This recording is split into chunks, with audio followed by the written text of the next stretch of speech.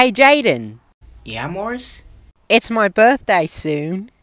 Um, wasn't our one year anniversary just last month? Regardless, can I get AirPods for my birthday? when trains fly.